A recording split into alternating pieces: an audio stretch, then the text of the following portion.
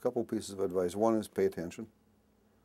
Uh, understand very, very clearly what's happening in your environment, in your organization.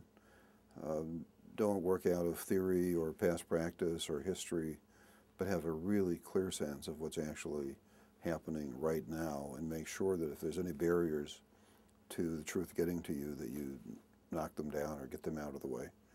So that, that's one step. The second thing is you should always be looking out to the horizon. You should be looking out over the horizon and have a three to five year uh, planning horizon and know that if things go well, here's where we want to be five years from now.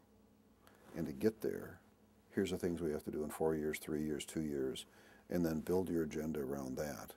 And don't build it around being responsive to the crisis of now. You have to deal with the crisis of now. The crisis of now is now.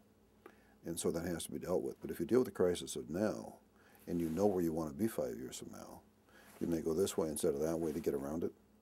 And that's critically important. So you, you need to understand where you're going and you need to pay attention. So if I were giving people advice, those are the two pieces of advice I would give.